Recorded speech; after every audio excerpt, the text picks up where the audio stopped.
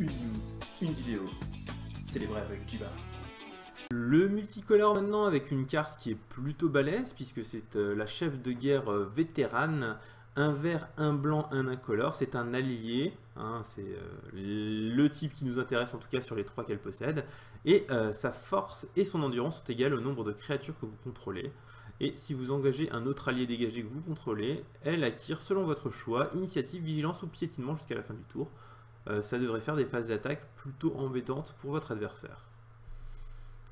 Omnat, le nouveau Omnat, Locus de Rage, revient plus euh, violent qu'avant. Alors, je ne sais pas si vous vous souvenez du premier Omnat, il grossissait euh, avec le nombre de mana vert que vous aviez dans votre mana pool et le mana ne s'en allait pas à la fin de votre tour, ni de vos phases. Le nouveau Omnat, il est 5-5 pour 7 mana, 2 verts, 2 rouges, 3 incolores. Il a également touche terre. Euh, quand un terrain arrive sur le champ de bataille, vous créez une autre créature 5-5 rouge verte élémentale. Et quand lui ou un autre élémental que vous contrôlez meurt, ça met 3 blessures à une cible créature ou joueur. Donc ça fait très très mal.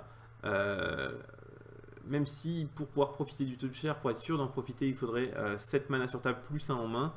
L'air de rien, le fait que ça colle 3 à chaque fois qu'un de, ses permanents va mourir, euh, ça va faire beaucoup de points très vite.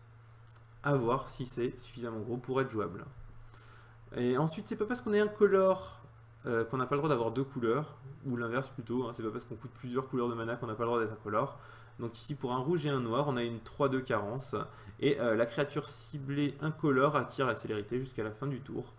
notez qu'elle peut se cibler elle-même, ce qui est rarement le cas de ce genre de capacité, mais qui est plutôt intéressant à savoir.